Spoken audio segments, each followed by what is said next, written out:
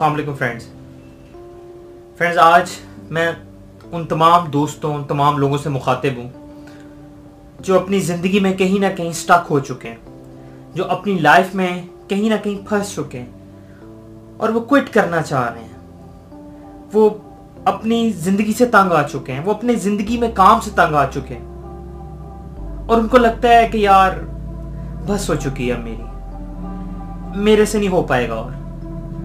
मेरी बस हो चुकी है। इनफ इज़ इनफ मेरे से और मेहनत नहीं हो पाई। तो मेरा आज उन तमाम ऐसे दोस्तों से मुखातिब हूँ, जो अपनी लाइफ में या अपनी ज़िंदगी के किसी भी ऐसे फ़ेज़ में आ चुके हैं, कि जिसमें वो इस बात को सोच रहे हैं, पीछे मत हटना यार।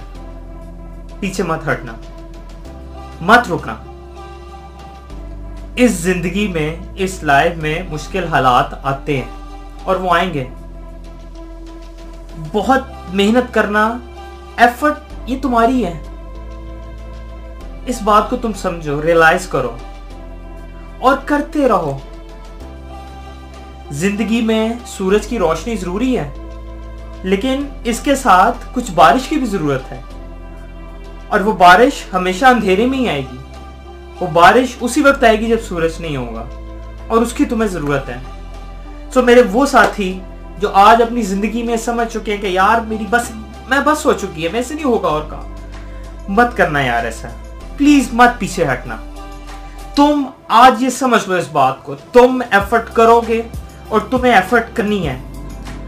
तुम्हें अपनी लाइफ को खूबसूरत बनाना है आउट क्लास बनाना है। So you have to work hard you have to work hard work hard मत रुकना। मत रुकना मत रुकना। डोंट केयर के लोग क्या कहते हैं। डोंट इवन केयर कि क्या बनेगा। तुम्हारा एम सेट है, तुम्हारा टारगेट सेट है तो then go for it and then go and achieve your target achieve your goal मुश्किल है, पता है, लगेगा, तुम्हें ज़िंदगी में ये रियलाइज़ होगा कि मैं ये क्या कर रहा हूँ। मैं अपना टाइम वेस्ट कर रहा हूँ। मुझे ये चीज़ नहीं मिल पाएगी। मैं इस चीज़ के लिए काबिल नहीं हूँ। लेकिन नहीं तुम उस चीज़ के लिए काबिल हो जिसको तुमने हासिल करने का सोच लिया है। अगर तुमने सोच लिया उसको। और यकीन करो कि वो तुम अपनी लाइफ में हासिल कर भी पाओगे। बस एक रिक्वेस्ट के पीछे मत हटना यार। ये तुम्हारी ज़िंदगी है। अचीव करो टारगेट को और एंड तक जाओ। जाओ उसको एंड तक हासिल करने के लिए। चाहे जो मर्ज़ी हो जाए। और तुम्हारी ज़िंदगी की सबसे बड़ी डिफिकल्टी वो ये नहीं है कि वो क्या बीच में क्या आएगा, वो ये है कि तुम अपने आप से मुतमिन नहीं होगे। तुम डिसहार्ट हो जाओगे, ये सबसे बड़ी डिफिकल्टी है।